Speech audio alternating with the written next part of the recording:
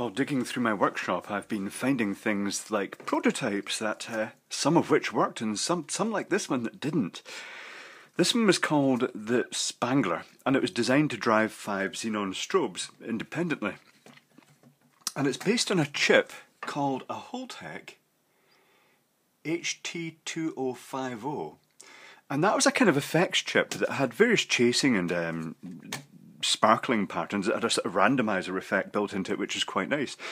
And I reasoned that by building um, five separate strobe xenon strobe circuits, uh, each with its own charge resistor, I could potentially um, use this chip to drive um, these thyristors and actually trigger these uh, transformers independently.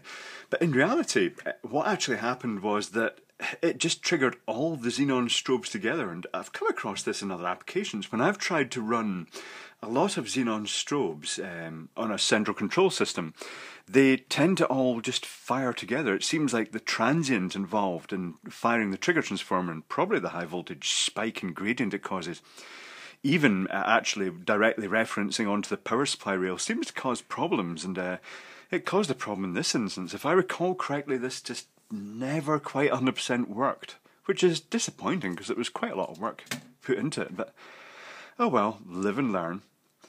Um, I'm sure I did a microcontroller based one as well. Uh, I'll have to have a look around for that. A microcontroller based one with one capacitor um, feeding all the different strobes. But again, it wasn't a great success, and uh, it makes me wonder should I revisit these projects and just for the hell of trying to get them to go again.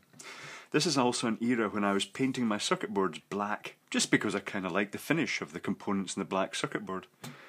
But yes, prototypes that don't quite work.